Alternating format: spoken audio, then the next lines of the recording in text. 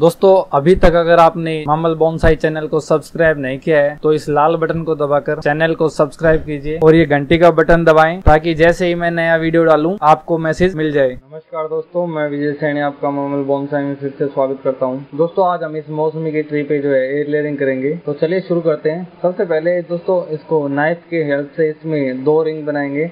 इस तरह से, एक कट हम इस तरह से नीचे लगाएँगे और सेम ऐसा ही कट एक ऊपर लगाएँगे। अब एक कट यहाँ पे लगाएँगे। दोनों कट लगाने के बाद एक कट हम इस तरह से बीच में कट करेंगे, दोनों कटों को मिलाकर। और बीच का जो बार्क है, वो इस तरह से निकाल लेंगे। इस तरह से बार्क निकालने के बाद जो बीच का हिस्सा है, यानी कि जो व्हाइट रंग का बूट दिख रहा है, उसको स्क्रैच कर दें। दोस्तों, इसके लिए जो मैं सॉइल यूज़ करूँगा, ये गार्डन सॉइल है, और थोड़ा सा कोकोपीट में लूँगा।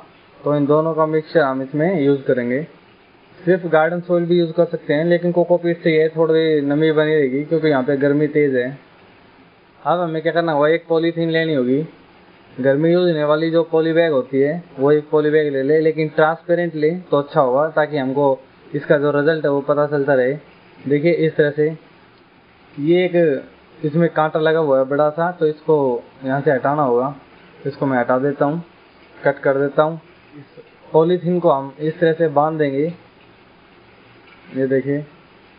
इसको यहाँ पे टाइटली बाँध देंगे ताकि इसके अंदर जब हम सॉइल डालें तो ये नीचे गिरे ना। इसके लिए हम टेप की हेल्प लेंगे। आप कोई भी टेप ले लें और उससे इसको यहाँ पे इस तरह से बाँध। दें बांधने के बाद ये इस तरह से बन जाएगी कि हम इसके अंदर जो सॉइल है वो डाल सकें। अब जो हमारा सॉइल है उसमें हल्का सा पानी डालकर हम उसको थोड़ा सा वेट कर लेंगे। एक्स्ट्रा पानी उसका निकाल देंगे और उसको इस तरह से जो बार्क है, इस बार्क पे हम लगा देंगे।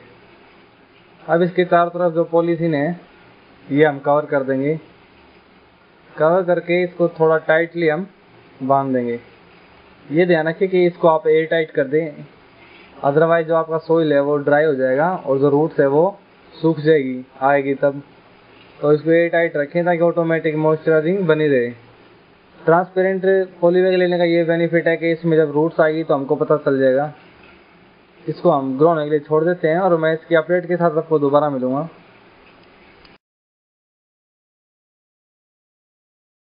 ओके दोस्तों, आपको याद होगा हमने यहाँ पे एक एयर लेयरिंग की थी, मौसमी के ट्री पे। देखिए इसमें जो रूट्स है वो काफ़ी आ गई है। जब मैंने स्टार्टिंग में इस पे एयर लेयरिंग की थी, उसके बाद क्या हुआ? इसके जो पॉली बैग हमने यहाँ पे लगाया था एक, यहाँ पे किसी चिड़िया ने इसकी पोली बैग को इस तरह से कुचर कर, कुरेद कर, इसका जो सोयल है वो बाहर निकाल दिया था। उसके बाद मैंने जो ये एक्स्ट्रा है, ये मैंने बाद में इस पर लगाई थी। चलिए मैं आपको दूसरी साइड से दिखाता हूँ। ये देखिए, इस साइड से देखिए, इस साइड से उसने इसको कुरेद दिया था। और जो ये रूट्स देखिए आपको बाहर दिख रही होगी। इसलिए मैंने वो जो दूसरी पोली बैग है, वो यहाँ पे इससे कवर किया था। और उसके बाद इसमें जो मिट्टी इसकी, वो जल्दी ड्राई हो जाती थी बिकॉज़ ये एयर टाइट नहीं था। तो आज मैं सोच रहा हूँ इसको मैं रिमूव कर दूँ यहाँ से। दोस्तों, एक काफ़ी मोटी जो ब्रांच है, जिस पे हमने एयर लेयरिंग की है, और इसके साथ में जो ये वाली ब्रांच आपको दिख रही है, मैंने इस पर भी एयर लेयरिंग की थी। देखिए, मैं आपको दिखाता हूँ नीचे की साइड ये देखिए, इस पर भी हमने एयर लेयरिंग की थी, और इस पर भी काफ़ी जो रूट्स है, देखिए आपको दिख रही होगी वाइट वाइट यहाँ पे भी काफ़ी रूट्स आ चुकी है। तो आज इन दोनों को मैं यहाँ से रिमूव करूँगा, और हमारे गार्डन एरिया में हम लगा देंगे इसको। दोस्तों इस पर काफ़ी बड़ी बड़ी देखिए आपको दिख रहे होंगे कांटे, जिसको यहाँ पे सूल बोलते हैं। ये इस पर बहुत बड़ी बड़ी होती है। अगर आप ये मौसमी की ट्री पे इस तरह से एयर लेयरिंग करें तो इस चीज़ का ध्यान रखिए, कांटे से बचकर फिर करें। तो केयरफुली मैं इसको यहाँ से एक बार ब्रांच है, उसको एक हाथ से पकड़ लूँगा और दूसरी हाथ से इस तरह से जो आ रही है, इससे मैं इसको कट कर दूँगा। ओके दोस्तों, देखिए जो एयर लेयरिंग है, वो मैंने रिमूव कर लिया है। मैं इसको यहाँ से निकाल देता हूँ जो छोटी वाली है इसको भी हम रिमूव कर लेते हैं। हम इसको भी यहाँ से रिमूव कर लेते हैं। ये देखिए। ओके दोस्तों देखिए, जो पहली वाली जो हमारी एयर लेयरिंग है, ये काफ़ी बड़ी है। जो बड़ी वाली है, ये करीब पाँच फुट के लगभग है। तो दोस्तों देखिए, जो अगर आप पाँच फुट का जो ट्री है, अगर आप सीड से ग्रो करते तो इसमें काफ़ी टाइम लगता। और जो सेकंड वाला है, ये भी तीन फुट के करीब होगा। तो इतने बड़े बड़े प्लांट अगर आप सीड से ग्रो करते हैं तो उसमें काफ़ी समय लग सकता है। लेकिन एयर लेयरिंग एक ऐसा मेथड है जिससे हम कुछ ही दिनों में, यानी कि एक या दो महीने में हमें इतना बड़ा प्लांट मिल जाता है तो ये काफ़ी अच्छी टेक्निक है।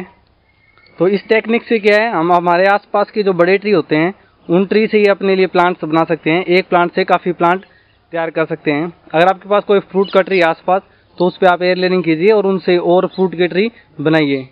दोस्तों, इसमें जो एयर लेयरिंग है, वहाँ ऊपर भी हो सकती थी। इसमें एक्चुअली में दो एयर लेयरिंग हो सकती थी, एक वहाँ पे, एक यहाँ पे।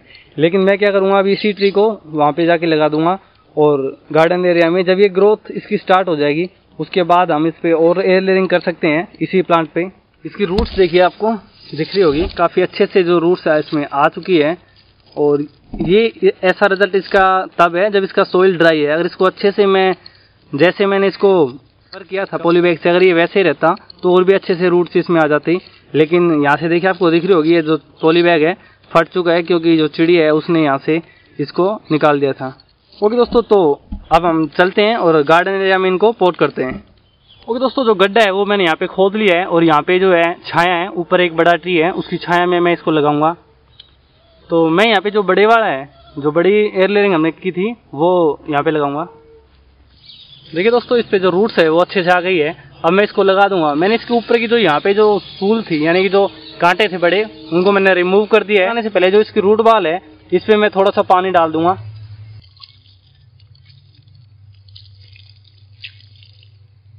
जो ट्री है, वो हमने लगा दिया है। अब मैं इसके अंदर जो मिट्टी है, वो भर दूँगा। मिट्टी को चारों तरफ़ अच्छे से इसके दबा देंगे, ताकि जो ट्री है, वो हमारा गिरे नहीं हवा से। और दोस्तों, इसमें जो मिट्टी है, वो अच्छे से भर देंगे। और मिट्टी भरने के बाद हम क्या करेंगे? इसको अच्छे से दबा देंगे।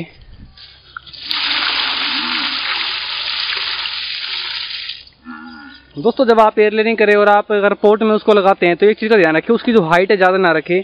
मुझे भी इसको यहाँ से कट कर देना चाहिए, लेकिन मैं अभी इसको वेट करूँगा। जब मुझे लगेगा कि जो प्लांट हमारा ड्राई होने लग रहा है, तब मैं इसको यहाँ से करूँगा, क्योंकि हो सकता है ये सर्वाइव कर जाए। इसका सर्वाइव करने का जो मुझे कारण लग रहा है कि ये इतना बड़ा भी सर्वाइव कर सकता है। वो ये है कि यहाँ पे नंबर एक तो छाया है। देखिए ऊपर जो बड़े ट्री हैं, उनकी छाया आपको यहाँ पे मिल जाएगी। और नंबर दो, यहाँ का जो सोइल है, वो काफ़ी अच्छा है। ऑर्गेनिक मटेरियल काफ़ी है यहाँ पे। यानी कि जो बड़े ट्री है, उसकी जो पत्तियाँ यहाँ पे गिरती है, उसका जो कंपोस्ट है, वो तैयार हो जाता है। और यहाँ पे जो केंचुए होते हैं, वो काफ़ी इस मिट्टी में। तो यहाँ की मिट्टी काफ़ी उपजाऊ है तो आई थिंक ये अच्छे से यहाँ पे सर्वाइव कर जाएगा। तो दोस्तों, आप भी जो एयर लेयरिंग है, वो करके अपने पास काफ़ी प्लांट्स इस तरह से तैयार कर सकते हैं। बड़े ट्री आप के पास अगर है तो उनसे आप एयर लेयरिंग करके अपने लिए पौधे तैयार कर सकते हैं। ये काफ़ी इजी मेथड है और बहुत ही अच्छा मेथड है। ओके दोस्तों नेक्स्ट वीडियो में फिर मिलेंगे। तब तक के लिए नमस्कार, शुक्रिया।